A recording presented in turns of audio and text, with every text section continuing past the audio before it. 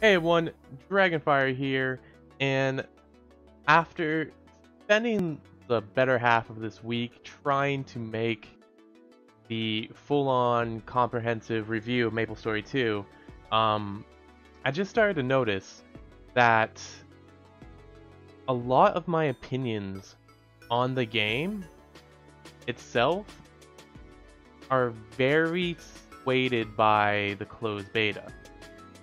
Um, so I ended up looking over the review I wrote so far, and um, a lot of my opinions could not be valid for when the game actually comes out. Uh, both negative feelings and positive feelings. There's a lot that could change when the game actually comes out. Uh, because of this, I don't feel comfortable um, releasing a full-on review of the game, and instead, I'd rather just talk about it, talk about the beta, um, talk about everything I experienced, and know that when I'm talking about the game, this whole thing, I'm talking about the closed beta. Now, some of you might be going, okay, well, you know, why does the closed beta matter so much? Why does it matter? It's not going to be that much different. Well, first of all, there was no pay uh, cash shop in the game. So a lot of the things I experienced, um, I experienced for free. Um, that, you know, I don't know if they're going to be free in-game.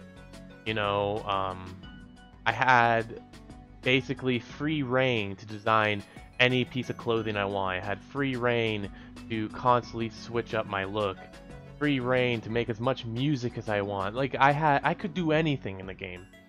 Um and also they did put a lot of feedback surveys out there. They've been asking for feedback like crazy ever since the beta has ended. I've gone two surveys, and I've also commented on almost every single uh, feedback um, uh, thread in the forums. Um, also, if you haven't noticed, I'm also doing a giveaway for a MapleStory 1 pack that they did uh, give me as compensation for doing surveys. Um, so if you want that, go check that out. I'll link it right here in the video, so you can check that out right now. Actually just going to spend a little time to write down when in the video to put the annotation. There we go. Alright, but plugin, plugin gone, so let's get back into uh, the... I don't want to call it review, but just my impressions of the game. So, right off the bat, I gotta just talk about how fun the game is. Like, the beta was fun. I enjoyed myself. There was never a time where I really sat there and was like, you know what, I'm bored. There was never a time like that. There was basically every time they gave me something new to do, I was jumping right into it, making my own my own music, designing my own clothes, which harder than it looks. Um, going fishing, mining, gathering, crafting, house building. There was just so much to do in the game that I never felt myself getting bored. That being said, most of my time was spent just doing side activities, doing these, um, like just bonus uh, MMO things. You know, I wasn't really engaging in the standard MMO play. Um, and that's where I feel the game starts to lose me on, is its standard MMO loop. So, the way it works in the beta, there is a weekly and daily limit on your dungeons. You can do up to 10 uh, dungeons a day for a maximum of 30 a week. So that right there is enough to kind of drive me away. But then they also mix in the the limit to be both dungeons and raids. So in your raid, if you want to do your raids, you gotta make sure you don't do any dungeons. And so it creates kind of a, a min-max pro problem for me, you know. Um, so if you if you if the game didn't change at all and you you played it when it first came out, the optimum path for you to do as a player, so to get the most progression you can possibly get, you don't touch the story and you don't touch dungeons. You fish until you're level 50, and then constantly upgrading your fishing skill as you're fishing. And then once you're level 50, if you have expert or above, you want to get these bait hooks that let you fish up gear. Then you just fish up gear. That'll be epic level. And jump right into the raid. And that is literally all you do. Um, and then you just use your 30 uh, weekly uh, dungeon slash raids on the raid itself. Because that's the most profitable, that's the most uh, highest level gear you're gonna get. It's just overall the the main way you should be uh, min-maxing the game.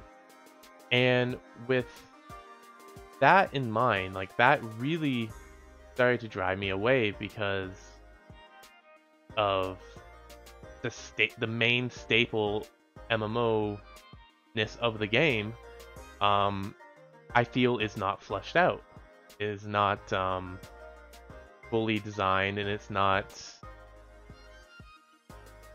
going to be for the long it's not going to be it's not going to keep the game uh, running for a while. Uh, that's what I'm trying to say. And I can see myself getting really bored of it.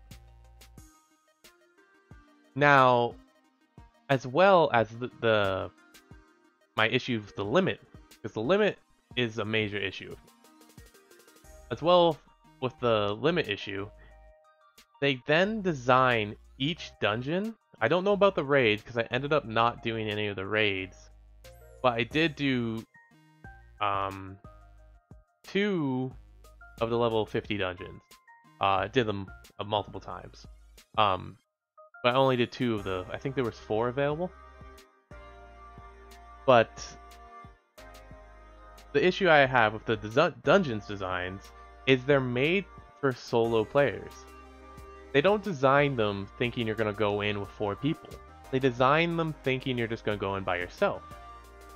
So all the mechanics in the game, all the all the mechanics in the dungeon, all the enemies, all the mob packs, everything is super simple and just damage sponges.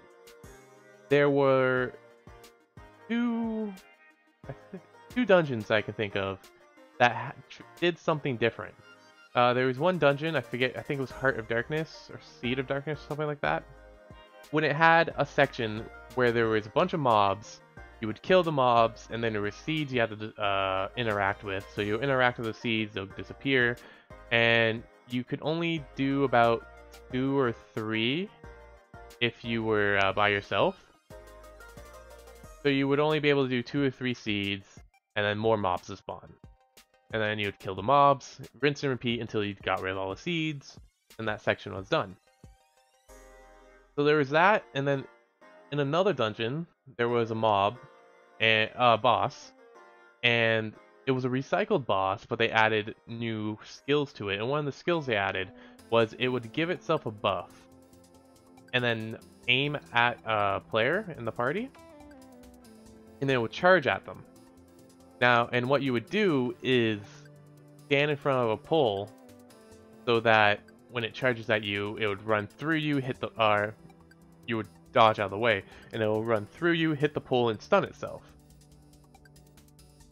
But those are as deep as the mechanics go. Um, even the boss I was telling you about, that mechanic was just mostly superficial because as the boss is charging up to hit you, uh, it's basically a mini stun anyway. So you could just, and he locks himself in that um, that phase until you stun him. So I just broke a pen. Um, so you could just ignore the mechanic completely as he's charging up, just smack him, and then once he charges across the map, uh, just walk over and start beating him again, so on and so on. And so the mechanics of the dungeons and the bosses are too simple for me. And in the end, I wish they would design them um, with a full party in mind. So instead of designing um, instead of designing bosses to be just damage sponges that you scale up the health and damage for the more people are in your party, uh, they actually sat down to make interesting boss fights and boss arenas so that the game so it wasn't stale to run through them, as well as make it uh, so that running a dungeon solo isn't the easiest thing to do. Because as it stands in the game right now, there's no point getting in a party. Um, my girlfriend was telling me that soloing dungeons as a priest, at least for her build, was pretty difficult. But as a berserker myself, I had no difficulty in any dungeon, not even the level 50 ones. Um, they were all pretty much a joke. And when it came to me playing on my own, when my girlfriend wasn't on, I just ran them solo because of the queue time and actually sitting there waiting to find players was a waste of time and I could just run the dungeon about three times in the time it would take me to run it once with a party. And that is super not okay for an MMO. I do understand that in MMOs, you should be able to solo content at some point. Uh, that was one of my biggest gripes with Final Fantasy when it didn't uh, have that feature. Uh, there was a bunch of old dungeons I just wanted to run and uh, get the item drops for, but having to find a party to do it with was just annoying. Until they finally added in the feature for me to run it solo. But that is entirely different than what MapleStory is doing. In the case of Final Fantasy, the content was out for two and a half years at that point, and I was level 70, or I was like, not 70, 70 is new cap. Uh, I was like, you know, very strong level 50. Um, I, I, I haven't played the game in for a while, so I, I forget uh, what the cap actually was at 2.0. I think it was 50. So I was level 50, I was fully geared out, and you know, running Sastasha was super simple. Um, and but having to dumb my gear to score down and run it for party was just annoying. Uh, all I wanted to do was get you know the, the tank gear where I can start leveling up my tank easy. And that was the that was you know okay. I, the game the content's been out for about two years. The uh, player base has already ex ex experienced it to its full extent.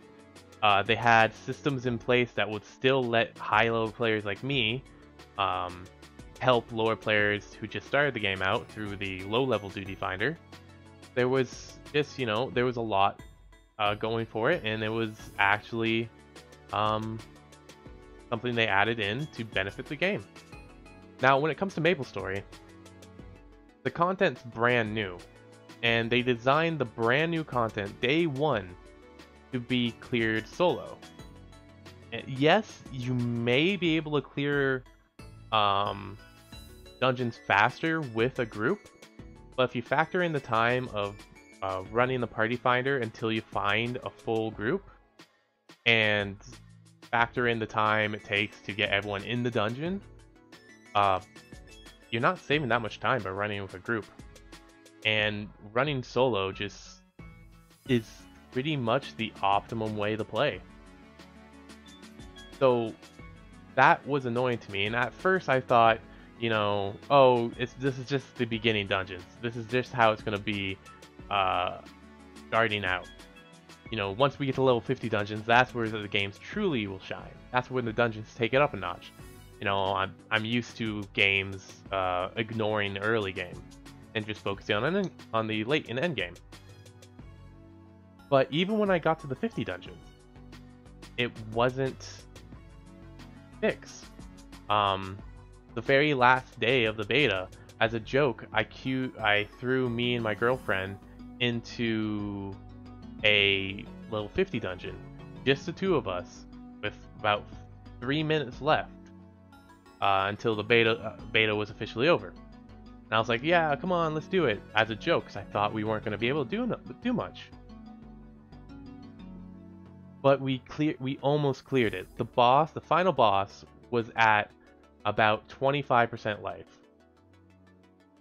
And it was ridiculous that like I ended up leaving uh, not sad because the beta ended, but sad because I'm like, this is the this is the dungeons.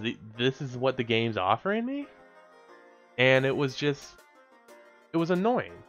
Um, as I play a lot of MMOs, I've played about for 15 years, you know, various MMOs and experienced various levels of content. And I gotta say, the content that's available in MapleStory 2 is simple, bland, and easy. Um, on top of that, the party finder in the game isn't good at all. It'll throw you into a dungeon with no party members if it doesn't find any, or it'll just, you know, make it won't give you a full party.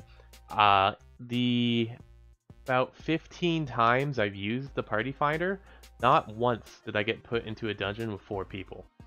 I got put in uh, by myself. I got put in with just the party I was already with. I got put in with three people, but never four people. And that was an issue I had. Now, all that being said, that could all change. Because they have been asking for feedback, and the forums are filled with posts about take out the dungeon limit. Uh, they're filled with posts about, you know, adding more challenge to the game. You know, there is a lot of feedback coming in that could lead to all this being changed. So don't let that opinion scare you away from the game when it first comes out. You know, it's a free to play game, you're not going to lose much by trying it. And on top of that, if you are going to let that opinion kind of sway you towards not experiencing it because it's it's still negative of the closed beta, well, you know what? Let's hop into what I loved about the game. What kept me playing, what made me happy. Um and you can see it on screen right now. The music performing in the game is phenomenally fun. There is so much to do and it's so simple to do all you need to do is go online, download a MIDI file of like literally any song you want, and then using a few third-party programs, convert it into MML, and then put it into the game, and you're good to go. It's so easy to do, and it's not hard to get awesome sounding songs that can literally cause people to stop what they're doing and just start dancing. There's so many impromptu concerts that me and Lydia set up uh, just for fun. We had that impromptu end of the uh, end of the server concert, and um, we ended up throwing that again uh, on a more popular channel. We went to channel I think four because one through three the stage was taken. So we went to channel four and we were throwing on the concert there, and people were loving it. Uh, for the video, we ended up going to a different one because we wanted uh, just to show off the music. We didn't we didn't want to have everyone else block in stuff like that. And so, uh, you know, that was fun. We ended up going town to town as the Wandering Moogle Band and just playing songs. And we ha even had players tip us. We had players that opened up trade windows as we were playing and were like, "Hey, here, uh, have you know, some mesos because, you know, I really enjoyed watching you guys. That was cool. That was fun. And the fact that you can get experience from doing music performances or fishing or gathering and crafting and all that is really cool because it promotes, you know, a level of gameplay that for the more casual players.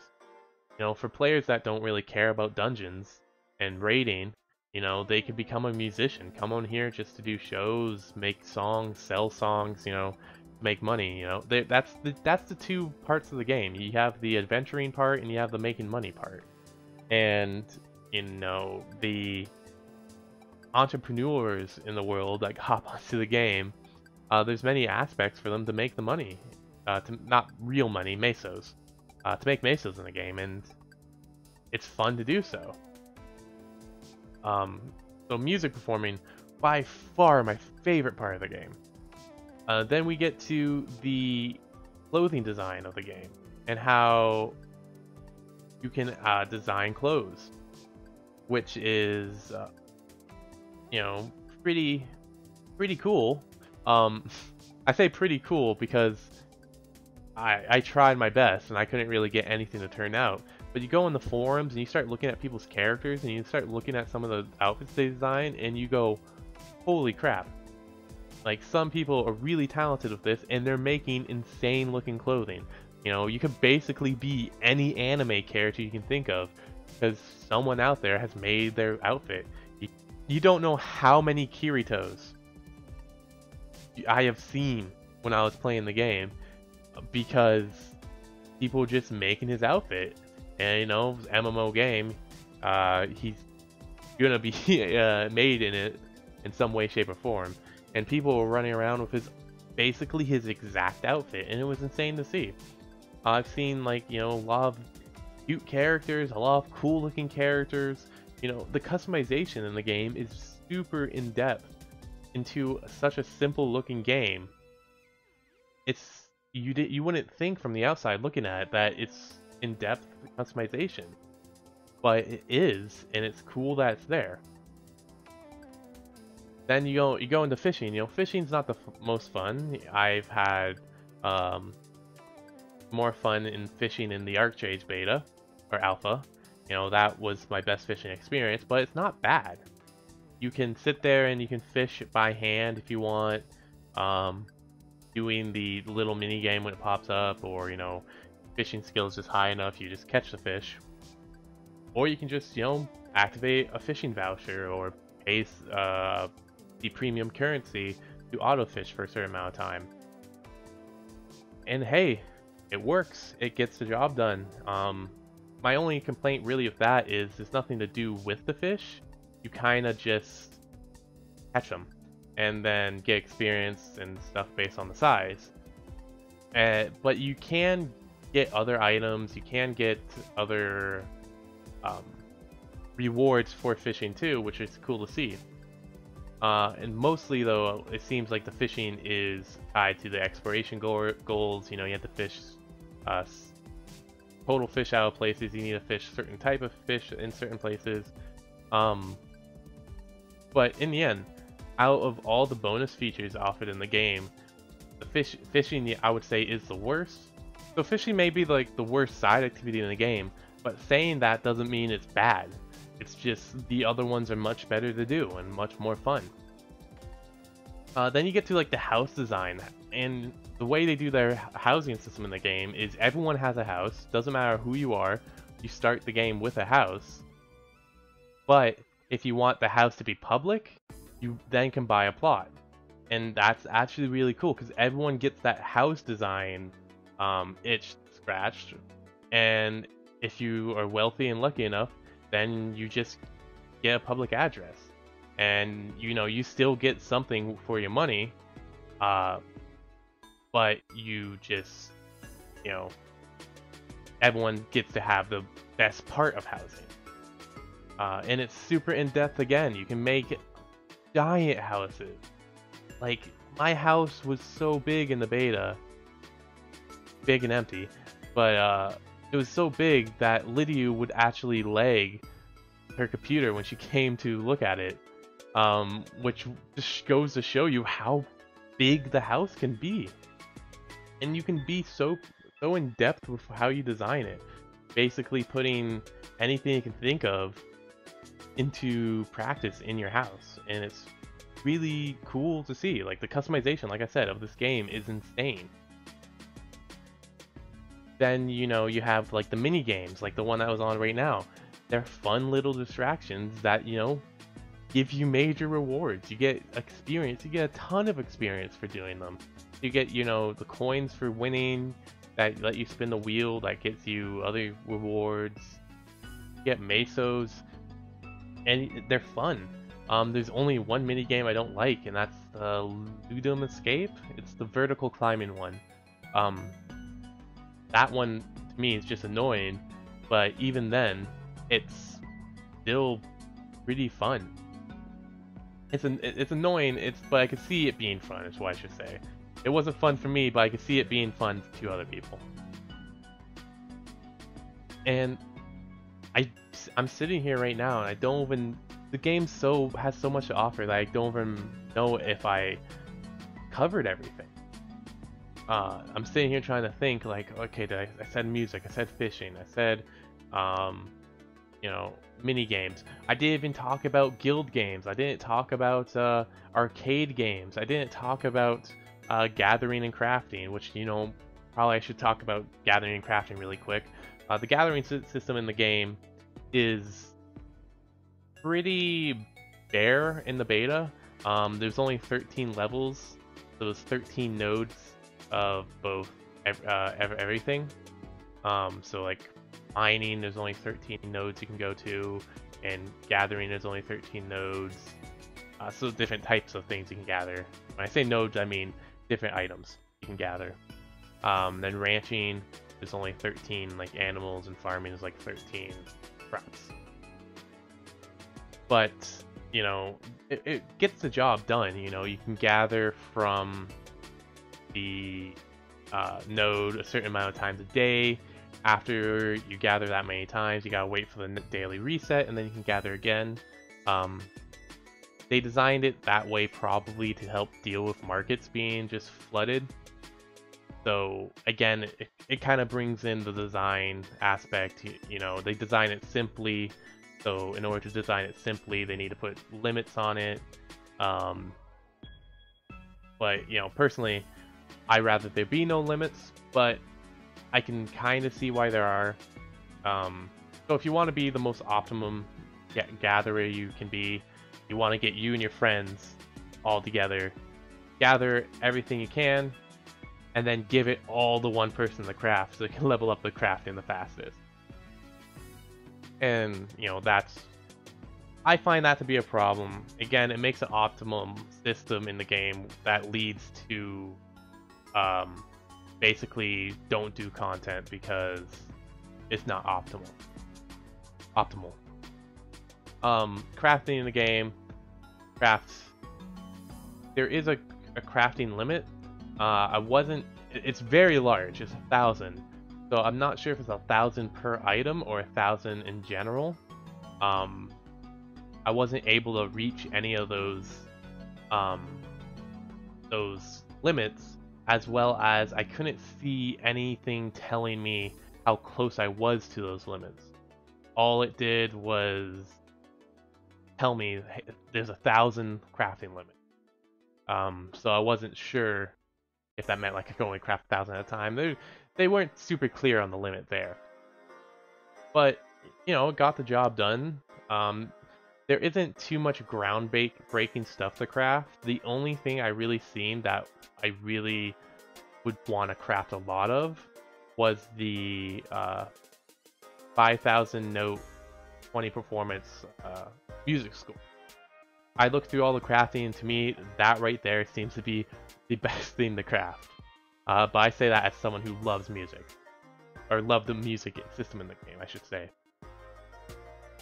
So, yeah, that pretty much covers everything I experienced in the beta. And again, I can't stress this enough. The positive things I said in the about the beta could change. You know, they could make things more expensive so it's harder to do. They could um, you know, put lock things behind cash shop items. You know, they could make it so you don't get musical instruments uh, easy. There's a tons of things they could do. Um, and free to play games are scary to really get behind without knowing exactly what it's going to be when it comes out. Um, because there's tons of ways they could make money here. Uh, they could uh, keep the dungeon limit in, and then when the cash shop comes out, hey, you want to get more dungeon runs? Here's a 10 pack. You buy you buy this, it's 5.99. You get 10 more dungeons. You know, they they could do stuff like that, and that would be really scummy, and it would be real. It would suck to see, but you know, I'm I'm hoping it, they don't do it, and that's why I'm kind of saving my like criticism for when the game actually comes out. Um, but on the other hand, all the negative things I have about the game, they could take the feedback that people have been saying and go, you know what, you're right, and fix it. They could redesign some of the fights. They could uh, start thinking of, you know, not only doing solo fights in the future. They could get rid of the dungeon limit. They could, you know, separate the dungeon limit. You know, you never know. There's a tons of things that they could do, and only time will tell what they will do. Um, so until then, uh, I can't. I'm not gonna really say much on the game. I do have my review already written up and ready to go, and if nothing changes when the game comes out, I'll publish the review just as is. Uh, if things do change, then I'll have to edit it.